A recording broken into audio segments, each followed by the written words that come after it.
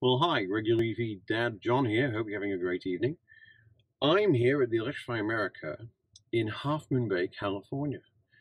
And uh, first of all, this has to be the, I hate to say it, but cutest DC fast charger I've been to. Davis was nice. This is even nicer. So if you want the opportunity to charge your EV underneath a centuries old California pine, then this is the charger for you. In terms of the makeup, it's very normal. It's right off the high street, uh, the main street of Half Moon Bay, which is in itself a delightful little California coastal town um, little more than a village. Beautiful place. It's all about experience. It's all about food and, and foodiness. It's, it's California, but it's the best bits of California. It's what it does well, but with small town values.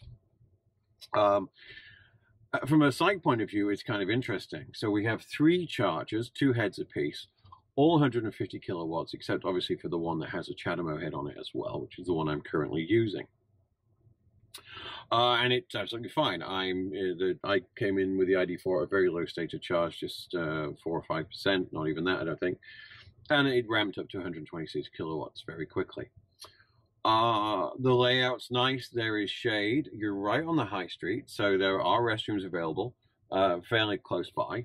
Um, any number of, uh, as long as you're in regular working hours, we've got opening hours uh, everything. You can walk across and get handcrafted furniture to a sandwich to a cup of coffee to pretty much anything else you would need, all within just a few minutes, if that stroll.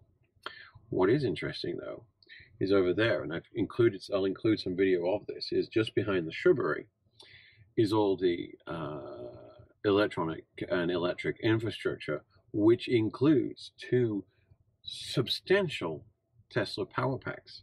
So it's interesting to see these guys working together. And as not as often the case, these things are usually fenced off and locked up. But here they're actually just playing out in the open, just protected by some soon to grow shrubbery. Um, and so you can see that, and you can actually I'll include this. You can actually see the meter. Um, I'm glad that's not attached to my house.